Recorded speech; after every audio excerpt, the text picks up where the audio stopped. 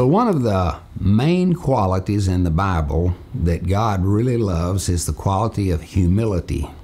But humility is not natural to us. As a matter of fact, the number one problem that almost everybody has is the problem of pride.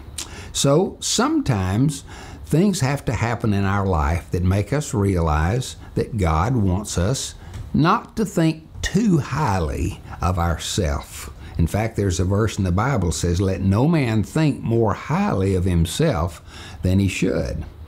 Well, I learned a lesson in humility when I was in the 4th grade. Well, in the first place, I was very, very prideful because I had been chosen to be a safety patrol boy.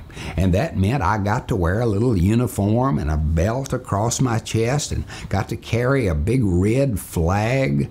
And I would stand at attention and I would let the boys and girls pass across the street and and I, I took it so seriously and of course I thought everybody thought as highly of me as I thought of me and so when girls and boys would walk across the street, I would stand at attention like I was a soldier or something.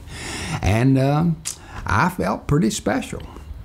And uh, one day, however, as the school bus was coming by, I was standing at attention and I was watching all the boys and girls out of the corner of my eye. And of course, I was thinking, I bet they all wish they could talk to me. I bet they all wish they could be a safety patrol boy. I bet they all wish they could reach out and just touch me. Now, I was kind of in what's called a state of delusion. But uh, all of a sudden, I heard one of the windows on the school bus unclicking and coming down. And I thought, I bet that's somebody who wants to get a closer look at me. I bet that's somebody who might even want to reach out and try to touch me. So I leaned forward just a little bit in case they wanted to reach out and touch my head or my hair, you know. And so I'm standing there, and all of a sudden, this boy stuck his head out the window and he spat right on my head. And I was totally shocked. And I thought, oh, oh. And I learned that day that just because I felt very, very special and important, that didn't mean that everybody thought I was important.